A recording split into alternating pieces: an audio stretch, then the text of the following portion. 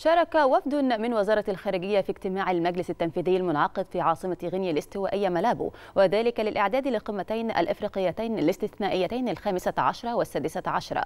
وترأست السنغال أعمال الاجتماع التنفيذي الذي شاركت فيه جميع دول الاتحاد الإفريقي. واستهدف التحضير للقمة الإنسانية الاستثنائية ومؤتمر إعلان التعهدات والقمة الاستثنائية حول الإرهاب والتغيرات غير الدستورية للحكومات.